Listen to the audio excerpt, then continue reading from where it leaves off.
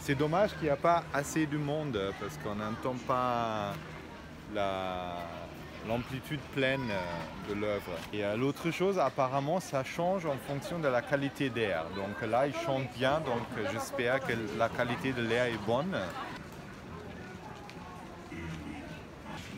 Euh, ben, moi, je trouvais ça super, mais je trouve ça dommage que pas beaucoup de gens ben, soient, parce qu'il y en a qui passent comme s'il n'y avait rien.